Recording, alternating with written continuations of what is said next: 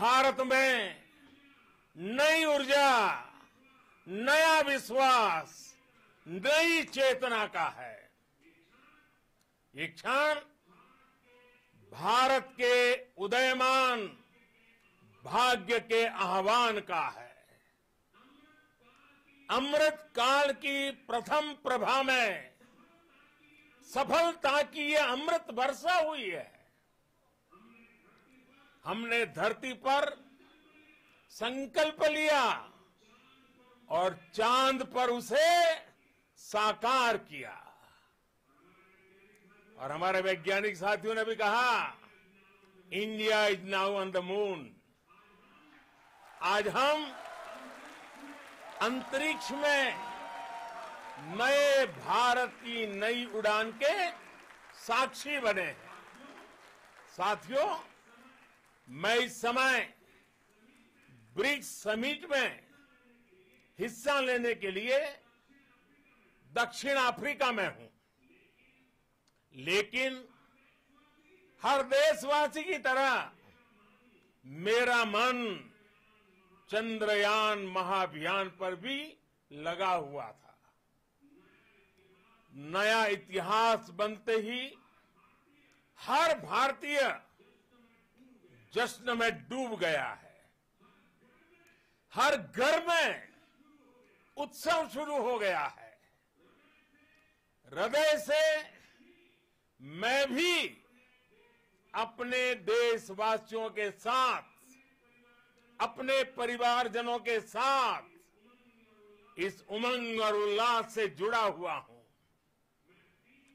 मैं टीम चंद्रयान को इसरो को और देश के सभी वैज्ञानिकों को जी जान से बहुत बहुत बधाई देता हूँ, जिन्होंने इस पल के लिए वर्षों तक इतना परिश्रम किया है। उत्साह, उमंग, आनंद और भावुकता से भरे इस अद्भुत पल के लिए मैं 140 करोड़ देशवासियों को भी कोटि कोटि बधाइयाँ देता हूँ। मेरे परिवारजनों, हमारे वैज्ञानिकों के परिश्रम और प्रतिभा से भारत चंद्रमा के उस दक्षिणी ध्रुव पर पहुँचा है। जहाँ आज तक दुनिया का कोई भी देश नहीं पहुँच सका। अब आज के बाद से चाँद से जुड़े मिथक बदल जाएँगे, कथानक भी बदल जाएँगे, और नई पीढ़ी के लिए कहावतें भी बदल जाएगी। भारत में तो हम हम सभी लोग धरती को माँ कहते हैं और चाँद को मामा बुलाते हैं। कभी कहा जाता था, चंदा मामा बहुत दूर के हैं। चंदा मामा बहुत दूर के हैं। अब एक दिन वो भी आएगा जब बच्चे कहा करेंगे? चंदा मामा, बस, एक टूर के हैं। Friends on this joyous occasion I would like to address all the people of the world the people of every country and region India's successful moon mission is not just India's alone. This is a year in which the world is witnessing India's G20 presidency. Our approach of one earth, one family, one future is resonating across the globe. This human centric approach that we present and that we represent has been welcomed universally.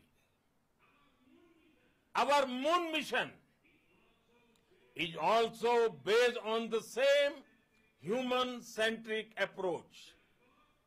Therefore, this success belongs to all of humanity and it will help moon missions by other countries in the future. I am confident that all countries in the world, including those from the global south, are capable of achieving such feats. We can all aspire for the moon and beyond. मेरे परिवारजनों चंद्रयान महाअभियान के ये उपलब्धि भारत की उड़ान को चंद्रमा की कक्षाओं से आगे जाएगी हम हमारे सौर मंडल की सीमाओं का सामर्थ्य परखेंगे और मानव के लिए ब्रह्मांड की अनेक संभावनाओं को साकार करने के लिए भी ज़रूर काम करेंगे। हमने भविष्य के लिए कई बड़े और महत्वाकांक्षी लक्ष्य तय किए हैं। जल्द ही सूर्य के विस्तृत अध्ययन के लिए ISRO Aditya L one mission launch करने जा रहा है। इसके बाद शुक्र भी इसरो के लक्ष्यों में से एक है। गगनयान के ज़रिए देश अपने पहले ह्यूमन स्पेस फ़्लाइट मिशन के लिए भी पूरी तैयारी के साथ जुटा है। भारत बार बार ये साबित कर रहा है कि sky is not the limit साथियों साइंस और टेक्नोलॉजी देश के उज्जवल भविष्य का आधार है। इसलिए आज के इस दिन को देश हमेशा हमेशा के लिए याद रखेगा। यह दिन हम सभी को एक उज्जवल भविष्य की ओर बढ़ने के लिए प्रेरित करेगा। ये दिन हमें अपने संकल्पों की सिद्धि का रास्ता दिखाएगा। ये दिन इस बात का प्रतीक है कि हार से सबक लेकर जीत कैसे हासिल की जाती है। एक बार फिर देश के सभी वैज्ञानिकों को बहुत बहुत बधाई और भविष्य के मिशन के लिए ढेरों शुभकामनाएँ। बहुत बहुत धन्यवाद।